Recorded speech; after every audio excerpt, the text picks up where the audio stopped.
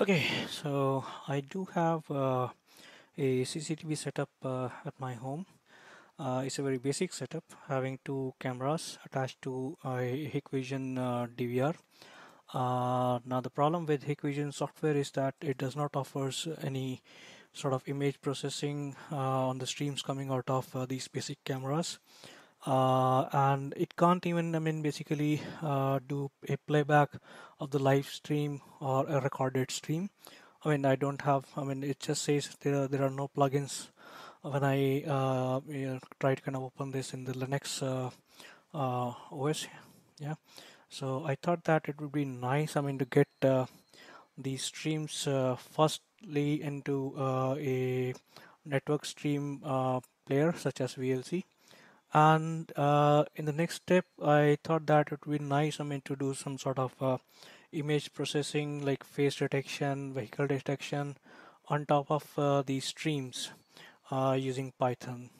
So uh, before uh, I start anything let me just tell you that how you can get these streams working in you in your any of the network stream streaming players network streaming players so see, this is the basic uh, uh, uh, format of the URL. So you have for this is for Hikvision. So you have RTSP protocol, then the username, password, at the rate IP address of your DVR, port number, RTSP, I mean port number, slash streaming slash channel slash 101 is channel 1 HD stream uh, 102 is channel 1 but with basic stream right? Not HD and this is my second camera attached to channel 3 again HD stream and basic stream.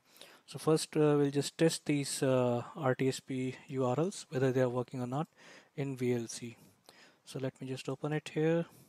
Okay uh, it's already I've already typed in the channel 3 so let me just replace it with channel 1 so in here now you see this is uh, the HD stream coming out of channel 1 now let's uh, try it uh, try it with basic stream. So I'll change this 101 to 102 and uh, now you will see it gets down to the basic uh, uh, reduced resolution.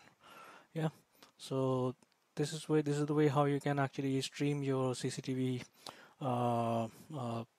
playback or the live streams in your uh, uh, in any of the kind of uh, network streaming players, network stream players. And next, I'll show you how you can kind of get this stream in control of Python. So uh, to do this, you have to uh, install OpenCV uh, module into Python. And to do this, you do sudo pip or pip3 depending upon which Python you're using, uh, install OpenCV hyphen Python. I've already installed it, but let me just show you here. So yeah, it's already there, so there is nothing much to do.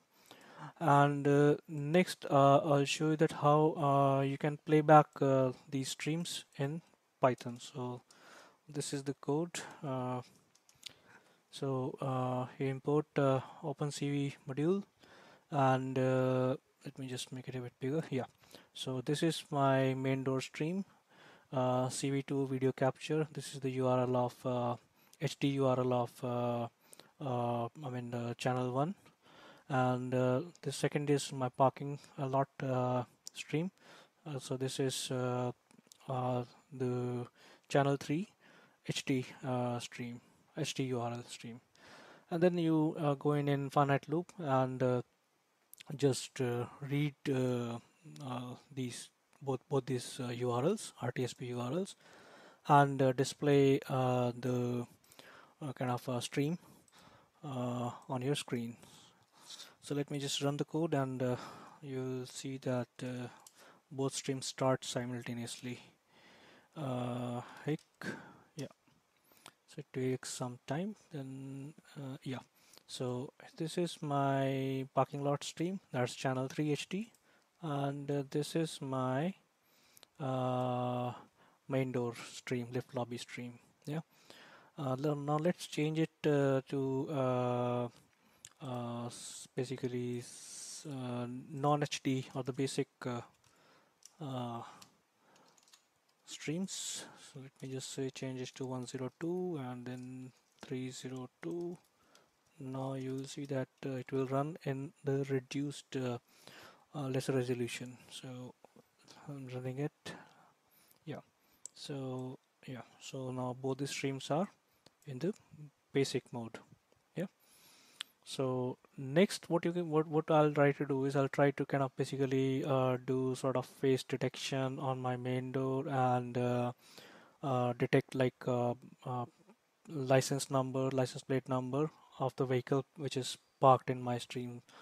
Sometimes uh, I mean basically uh, other guys uh, just park their car in my parking lot when I'm not around. So it will help me to uh, basically get uh, alerts. I mean who has parked in the parking lot. Yeah.